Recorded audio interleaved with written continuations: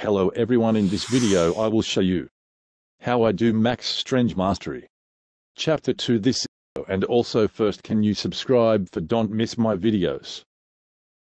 In description will be link on first chapter and on more videos where I do any stats. Okay let's go.